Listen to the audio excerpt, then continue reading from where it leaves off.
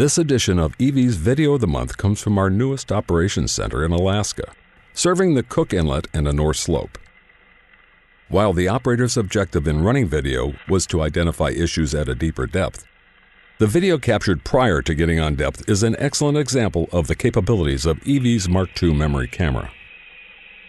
While running in the hole, the condition of the tubing can clearly be seen, as captured in full motion, 30 frames per second, high definition.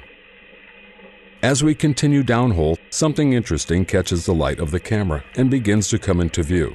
Hydrates have formed and are caught hanging out in the wellbore.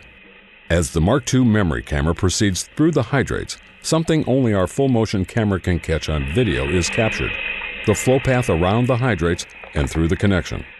Also unique to the Mark II memory camera is the ability to capture sound.